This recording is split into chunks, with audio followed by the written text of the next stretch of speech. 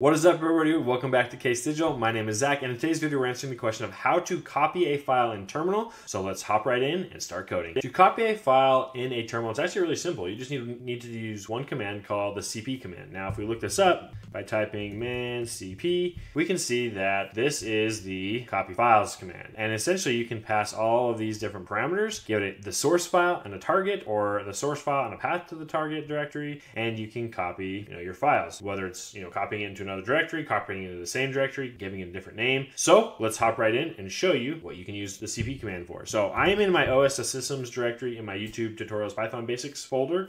And I essentially want to show you like here's the so here's previous videos I've done. Well, let's go ahead and copy this hello.txt file and show you what we can do. Now, if I go ahead to copy this, I'm just going to, let's reset so that we have some room and some a little zoomed in. So we can go CP and I can go hello.txt. Now I just hit tab complete right there. Now that's the source file. So you go the CP command, the source, the source, the file that you want to copy, and then the destination, or you know whether it's a new directory with the same name or whether it is the same directory with a different name. And now let's show you what happens if you do it with the same name. So if I say hello.txt and I hit run, you'll see that this does not work and you get this this error that says hello.txt and hello.txt are identical and it's not copied because it's not going to copy. And I can even check that by doing the ls and I see hello.txt. When you're in the same directory, you need to essentially, uh, now there's probably ways that you can essentially overwrite this, but it, which wouldn't really do anything because you're just copying. Um, but what I can do is I can say something like cp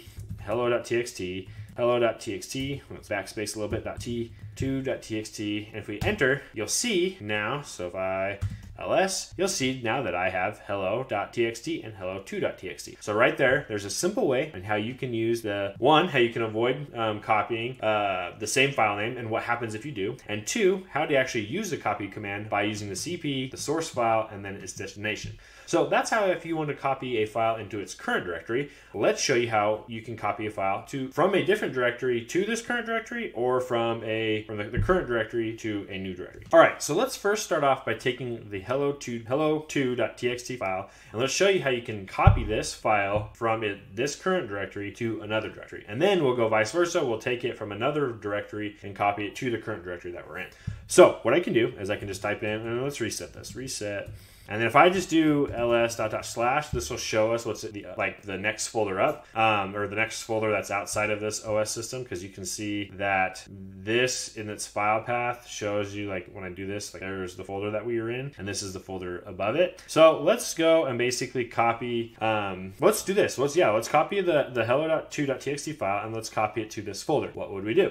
So what we can do is we can do cp hello um, 2.txt and then I can say dot dot slash. Now, there's a cool a couple cool things. If I hit enter with just that, you'll notice that if I hit ls dot dot and show you the directory up above, you'll see that hello2.txt is there. And what's nice about this, I didn't have to, you know, specify the name. And it just basically took this name and copied it right there. Now, um, if I were to go and reset, I could also do something like cp hello2 um, actually, let's do this. So cd dot dot, move out of directory, and we will remove that file hello2.txt. So now it's out of there because um, what I want to do is I want to show you that I can go back to this folder and I can say cp hello2.txt and I can do dot dot slash hello hello2.txt hit the same command, and I can hit ls, and oops, I'm in that, I'm in the same folder. So ls dot dot slash, you'll see that there it is again. So what we did in that sequence was essentially, we had a hello2 in there, I went up a directory and I removed it. The reason being is because I wanted to show you that if I did hello2.txt and then dot dot slash, and then the name, unlike just dot dot slash, it would also put that. Now, if I did that command when I was in there before, we'd run into that same error where it says, hey, there's the two files, you can't copy them in there. But the nice thing is, is you can either give it the full path, or you can just give it the directory that you want it to copy into and it'll take this name and put it there. Now, let's try something different. I want to show you. And if we do CP, and we'll reset all this so we can have more room.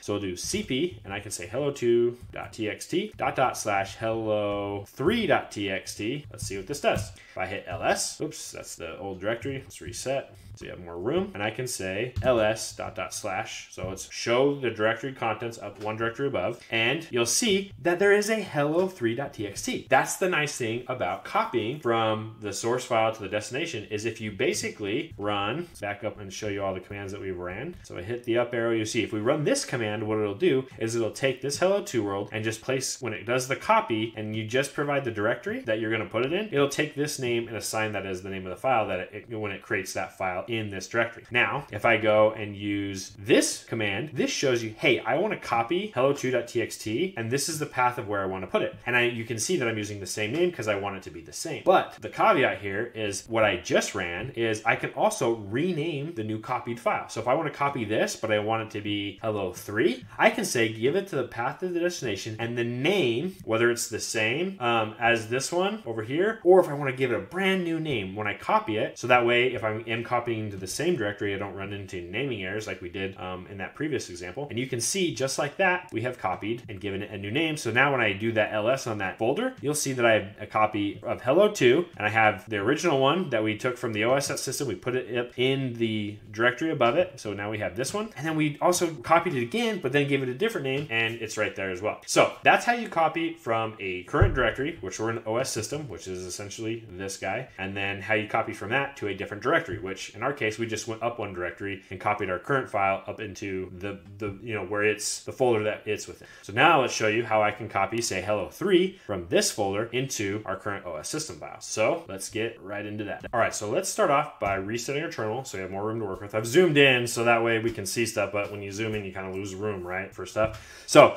just to show you, we're in this ls, we're in this folder, right? And if I ls the folder above, we have this hello3. The goal, like I mentioned, is let's copy this folder into this OS system folder, which does not have hello3. So to do that, I'm gonna reset this again.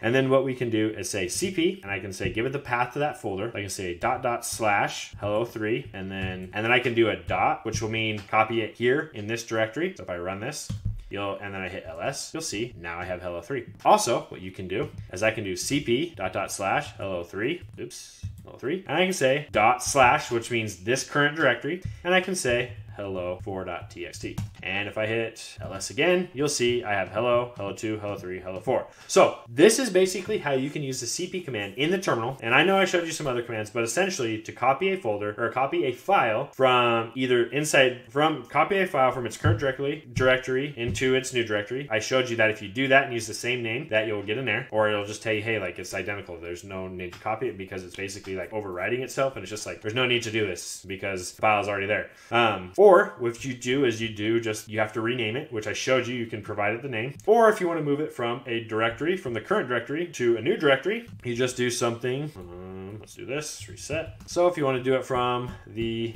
current directory to a new directory, you can do that. And also you can either provide the same name, just the directory path, or you can give it uh, the path with the name that you want it to be rather than the old name. As well as I've showed you basically how to CP, uh, CP a command from a different folder, whether this is just this being the path. Now we just used a relative path to where we are. You could give this the absolute path to a file and then say, hey, copy it right here, which will mean it'll just use that same name and copy it into the current folder. Or if you um, don't do just a dot and you do a dot slash, that would be the same as just putting the dot. Or you can do the dot slash and give it the name that you want to be, what you, what you want it to be in this current folder. And as a result of doing all that copying, um, what I can show you is I basically have in this folder, I have three new files that we've created. And then the um, the folder just above this, we also have two additional files that we've created. So that's how you use the CP command. Uh, if you found any of this confusing or, or you have any questions about anything else you can do, please leave them. Please leave a comment below in the comments, and I'll do my best to answer it or make another video or an additional video on how you can do this because you can do loads of things with CP. Um, it's very powerful and it'll help you become. I think it'll help you on your programming journey, especially when I show you um, in later videos how you can essentially combine this with Python commands or additional additional language commands to perform this same type of um, functionality within a programming language. So until next time, keep on programming.